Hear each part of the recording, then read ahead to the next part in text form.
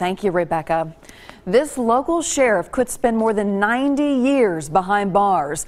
That's if he's convicted on a 13 count indictment that alleges conspiracy, fraud, bribery, and misuse of authority. Sheriff Robert Arnold appeared in federal court today for his role in the jail cigs scandal. It all surrounds a company that provides electronic cigarettes to inmates.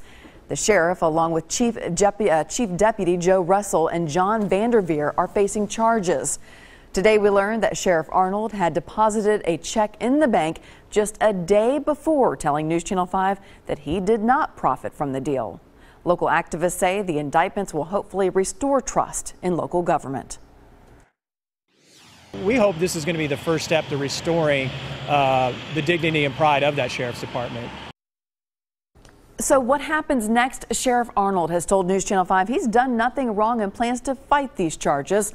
Our political analyst Pat Nolan says it doesn't appear Arnold will step down. Unless he for some reason decides he's going to he's going to resign, he will still be in that position and hold that title until he decides otherwise or the courts decide otherwise. Nolan says Arnold still has two years left on his term. If he steps down, the Rutherford County Commission would name his temporary replacement until an election is held. However, the deadline has passed for potential candidates to file for that primary election in August. It's unclear if the rules would change due to these circumstances. Nolan says the situation certainly creates some distractions.